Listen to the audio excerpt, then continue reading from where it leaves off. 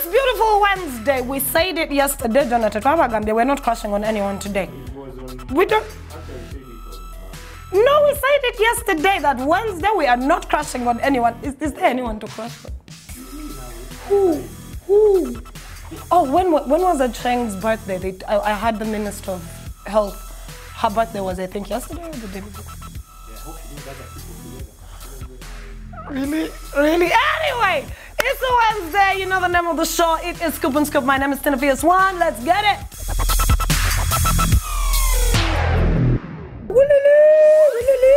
I never thought I would have to actually do a story on Rita Kaggwa. Ask me why. Everybody knows Rita Kaggwa for being the, you know, shady chick online. She's a blogger. She talks about pretty much all the artists. It's like someone actually went down that far to be that derogative towards me and told me, Mukola Chechi. I was like, no, we don't.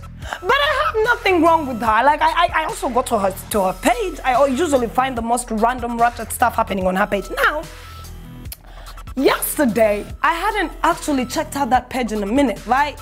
Then I am on a different social media platform, and guess who pops out?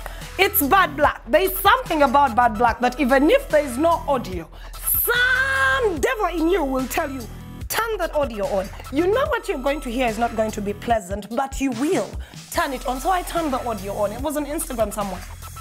And Bad Black was being her usual self. Oh Jesus! I thought Bad Black, obinyonyole. I thought when the state entrusted you with a very, very, very important message. Because our grandfather, the president, has been singing about our girls leaving the track men alone. So they thought, oh wait, who better to speak to our daughters than Bad Black? They gave you an important role. You took it up so well that you said you're now the minister of what? Ba- Bamalaya? Uh, Malaya. I mean, you're their spokesperson, you, you're everything for them. I thought, since you have officially stepped up in the world, Bad Black, that certain issue would change. This is a girl who admits, and that's why I love her. I love Bad Black for that. She admits, nze sasoma, naba mu kusoma, nenfuna kasaluuni awo, I had big dreams, nengwa ku muzungu, nemukuba, netuzirya, ne bansiba, nzuno. Abaana nyina kikumi, what's your problem? I'm a hoe. Well, you cannot come at someone like that, can you? Yeah. Sure, you can't, because she's beat you to the things that you would use against her. But that is actually a very long journey. When did this journey for Bad Black start? Eh, a long, longer, long time ago when Meddie Ssentongo was still tying durags to get waves in his hair. I mean, that's a long, long time ago. So I would believe that with that transition, and now that the state is finally recognizing you not as a criminal, darling, as a human being who speaks for Bamalaya Bay Kampala. What happened? Nga wagenze mu factory settings nga bukyali. My goodness. Omukazi yavumye munne. Bana enewa namba nvuma. Bad black avuma. And it reminds me, I think again the same thing happened. Because the few bits I could take it of bad black. Because at times I can. Then at times my appetite is. she goes like, apparently someone reached out to Rita Kaggwa amuvumire bad black.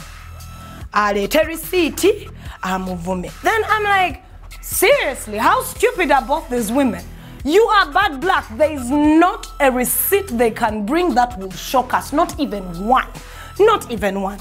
Two why would rita kaggwa even want to do a story on bad black? She is a story herself. Just wait for her to get her snapchat. She will tell us is.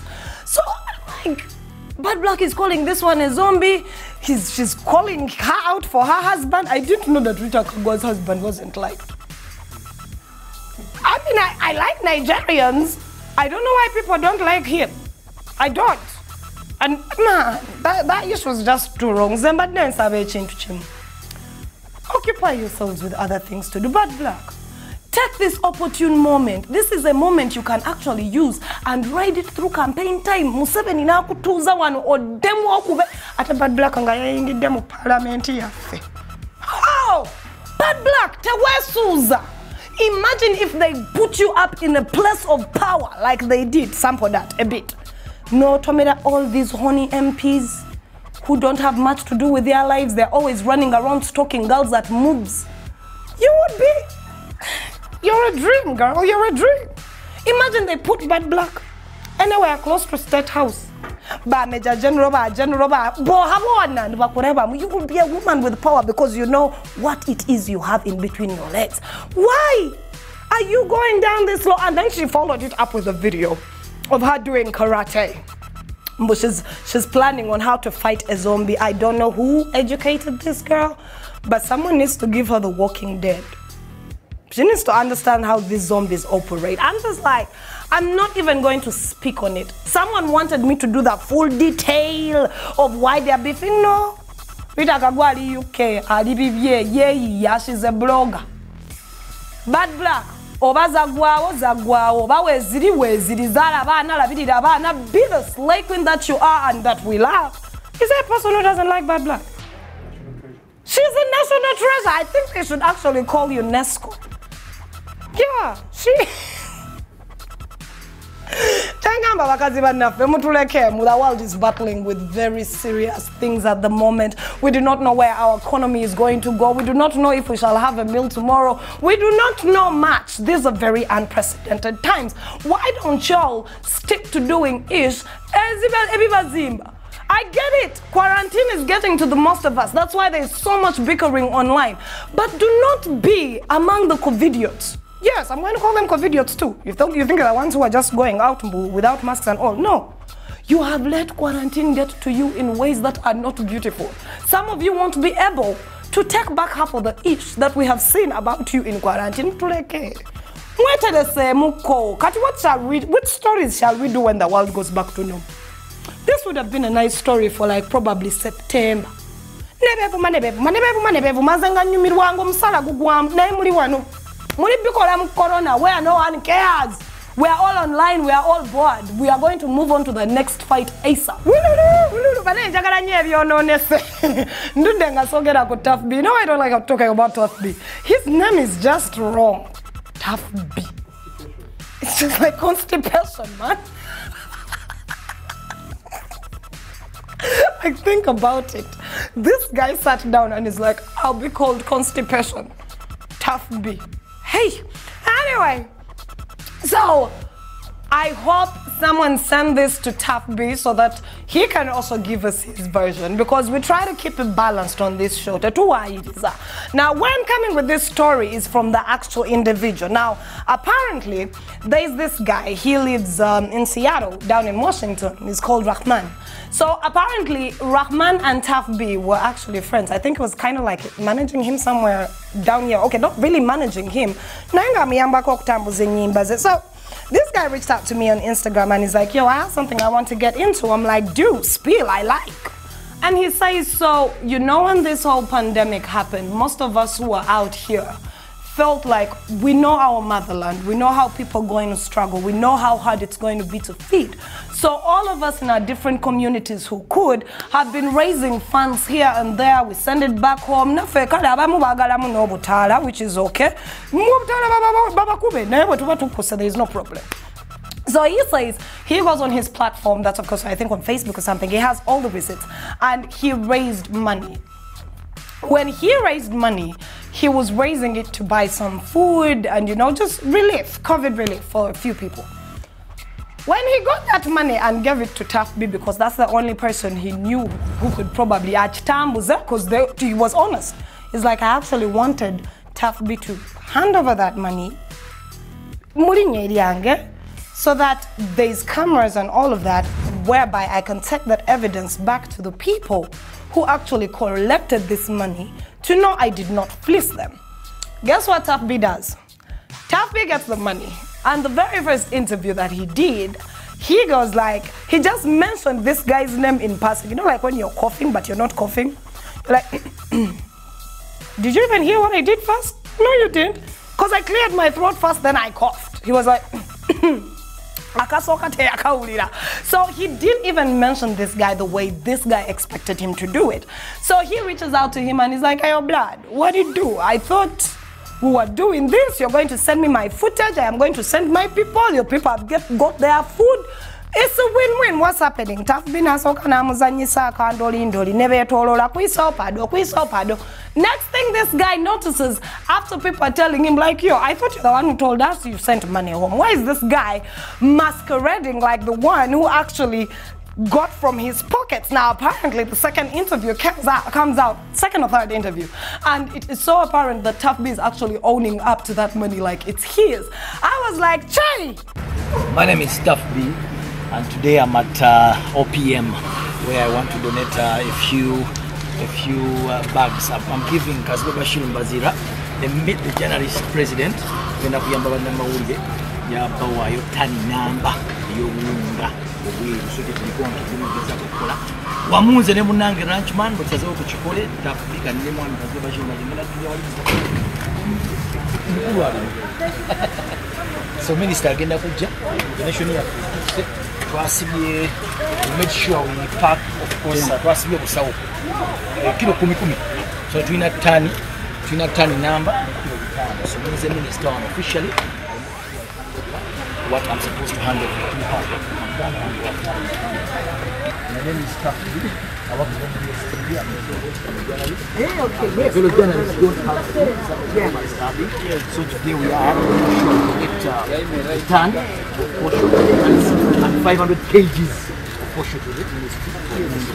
So in total we have up to 1,500 pages. Thank you so much. making sure everyone is. Together with my friend, Yes. He's called Ranchman. Yeah, we came up with this donation.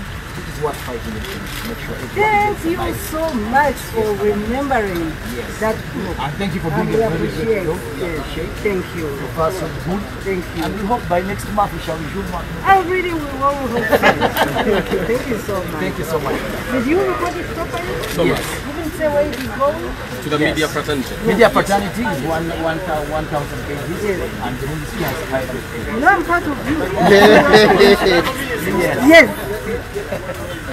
So yes, we we have been able to pass our donation whoever is watching us, whoever is watching us, make sure you go ahead. So my question to you, B, is did you acknowledge the source of the money that you helped spread out in form of food? Did you acknowledge the person who actually gave you that money? Or are you also going to sit here and lie to the rest of us and the rest of the world that, you know, you did, they just didn't hear? kampala mugenda kuntuusa ku kyokya.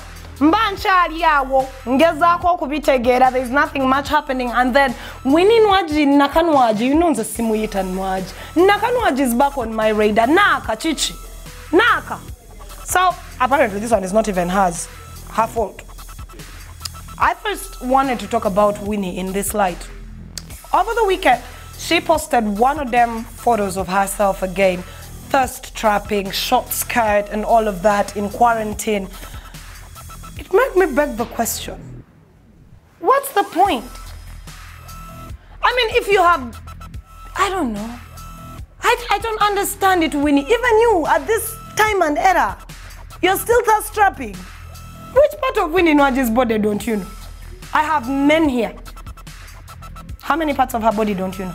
Okay, so you have combined all the videos in bits and you have a full naked Winnie Nwaji.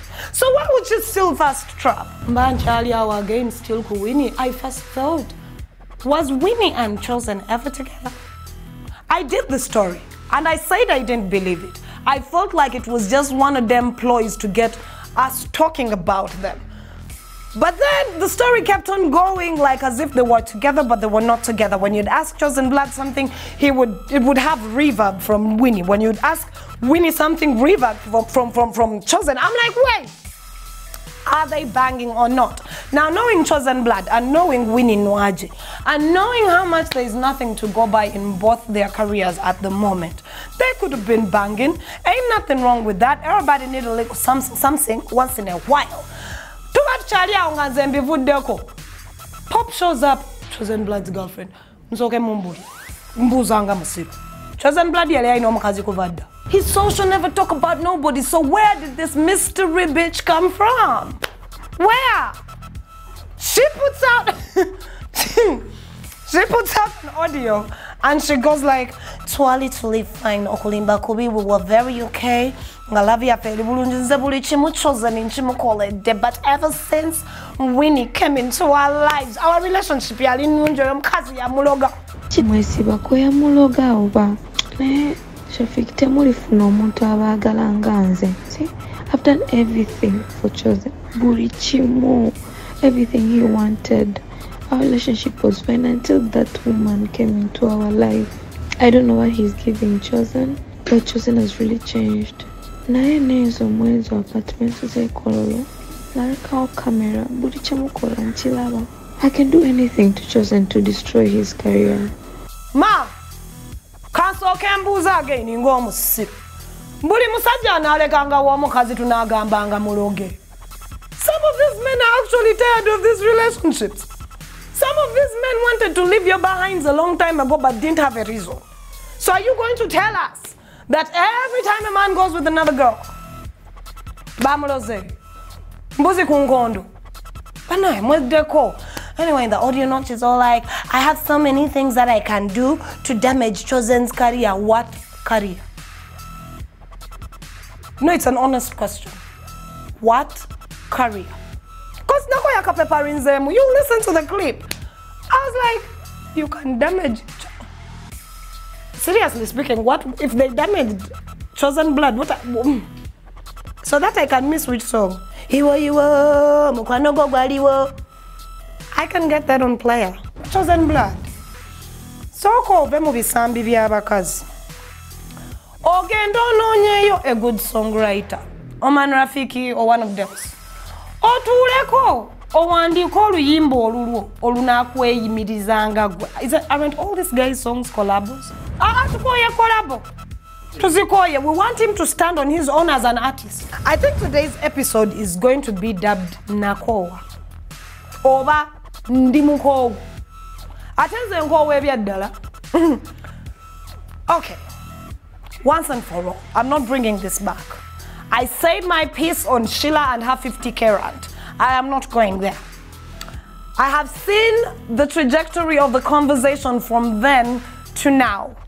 And I've seen how different entities have had a lot to say or speak on it, which is okay. I have seen Sheila Gashumba still, you know, be on Twitter and be extra on the same cause because it's gaining, it's giving her what she wants. Talkability. This is what I'm going to say, like finally. Robin Kisti. I ain't got none wrong with you at all. I knew you close to 15 years back when we were all on the same station. You was a lovely girl. I don't know this skinny heifer, but I'll also speak. Can the two of you get your skinny selves together and stop all this messiness? Like, At first it was nice to witness. But this all back and forth, Robin, you come from a time when TV was golden. You come from a time when it was our sheer joy and uh, and pride to just get up and represent a brand. You know what that means. You of all people know what it means to raise a broken child because you have kids. Not that you have raised broken ones, but it's every mother's deepest fear. Now, why I'm hollering at Robin fast is because I feel like ye mukulu mu kintu kino. Ye mukulu, not in age, but she's mature in a way. Robin, stop this bullcrap of going on social media and saying, oh, Sheila did this, oh, she did this. Oh, oh, come on, all of us know she's a low-key hoe. All of us know at some point if you're in the industry that she has aborted. Sichipia, it's her body, her choice. naye naawe shira tulekemu wummuza obunnyo tuuza wali obubina tuleke like what's the point what's the point of this all it has come to a place where i'm like this is not even toxic anymore these are just two women that hate not each other. They hate themselves enough to let another person amongst them rattle them up to a point where you will stoop as low as revealing secrets that really don't even make sense to us. Sheila, we know you're bored. We know you're redundant. That's the most of us. Robin, we know you're stuck here and you can't leave the country and it's getting boring as f- So you feel you want in on the action. Here's what I'm going to say we're tired. Put your damn phones down, the both of you. Put your phones down. Think. Think. Ah, this is a little bit of controversy. ah, okay, before I can go nabagambye mbweno episode in ngitumye nabikowa oba nkoye ndi kyonna hashtag gye munaasalawo i'm not in the mood to discuss much but I have something I want to talk about. And I know this one is going to rattle very many people, but it's something that I've wanted to talk about because nobody on television seems to want to talk about it. And we all know me, I'll get myself in trouble most times. Have you guys noticed how mainstream media, that's the BBC, Al Jazeera, CNN, uh, Daily Post, all these other big media entities, the stories that they write in regards to the pandemic in Africa. Tell me it hasn't bothered any one of you.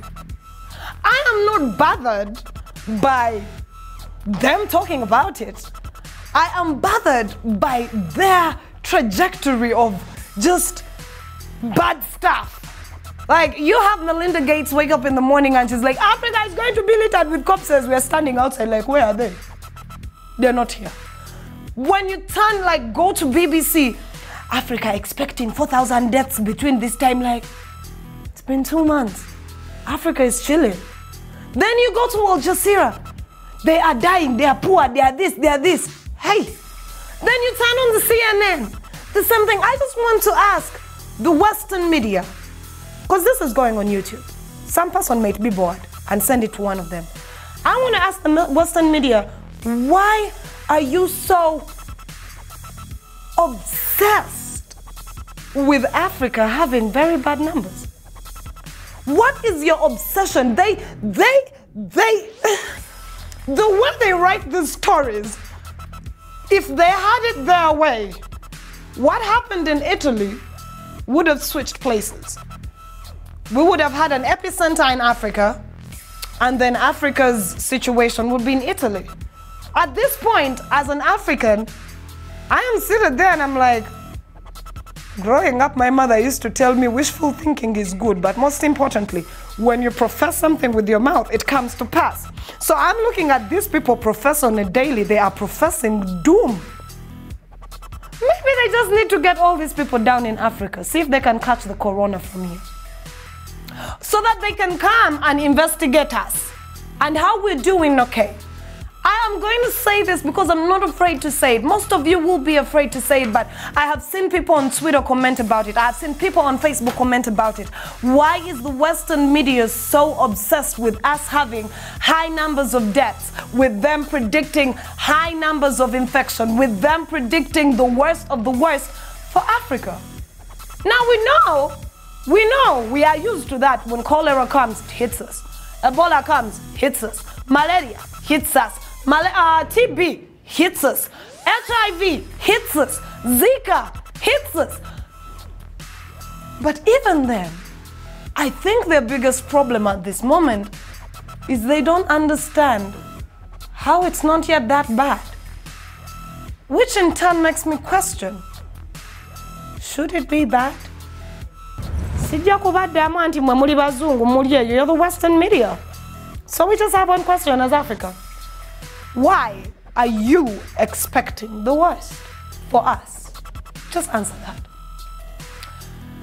and with that nabikowa moment kanvene wano at Cinevius1 is my Twitter handle, and on Facebook we are Scoop on Scoop and at Cinevius1. For getting on Instagram, it's at Cinevius1 with an H, and on Snapchat it's Cinevius1. For now, though, I'll catch you tomorrow on Thursday. Don't forget to tag all those people I mentioned. I just I want answers. So, I mean, the world is coming to an end. We might as well ask everything we want to ask. It's never going to change stuff. Me asking why you want death for me is not going to change the fact that you still call Africa the black continent. Will it? Or me asking why will not change the fact that all these beautiful, precious diamonds, gold, everything is down in Africa. So why? Why do you expect the worst for us if we don't. With those few words, I'm out. Peace.